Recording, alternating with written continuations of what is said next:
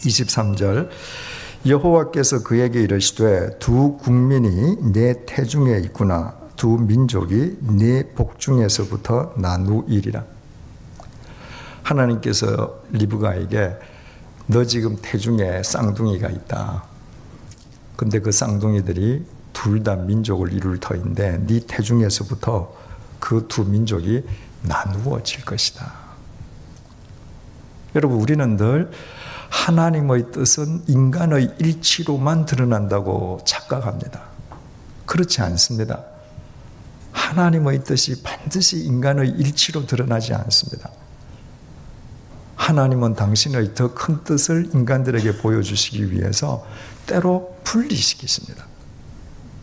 그래서 이 쌍둥이도 같은 엄마의 태 속에서 나와도 그들이 분리될 수 있다. 그들이 전혀 다른 길을 갈 수 있다는 것을 우리에게 보여주시기 위해서 분리된다고 하십니다. 인간들이 바벨탑을 지으려고 할 때 하나님께서 분리시키십니다. 이스라엘 백성들이 하나님을 외면할 때 그들을 남과 북으로 분리시키십니다. 그뿐인가요? 오순절날 성령 받고 다 믿음이 얼마나 좋으신 분들이에요. 그런데도 스테반의 순교 사건으로 그들을 분리시키십니다.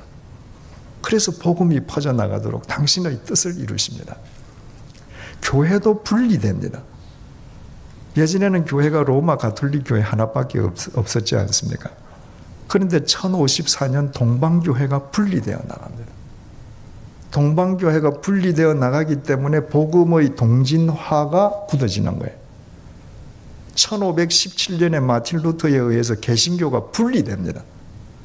개신교가 분리되었기 때문에 복음의 세포 분열이 일어나는 것입니다. 1534년에 로마 가톨릭에서 영국 성공회가 분리됩니다. 그 분리가 있었기 때문에 영국의 청교도들이 대서양으로 넘어가서 미국이 세계 선교의 전초 기지가 되는 것입니다. 하나님의 뜻에 의해서 분리될 수 있습니다.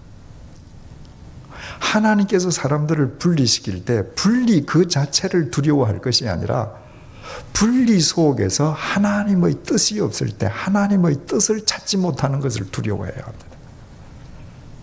하나님의 뜻이 없이 인간이 뭉치면 역사적으로 범죄 집단이 되는 것은 역사의 교훈입니다.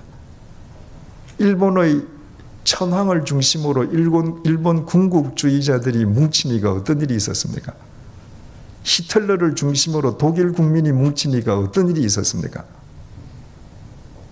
우리에게 중요한 것은 하나님의 뜻입니다.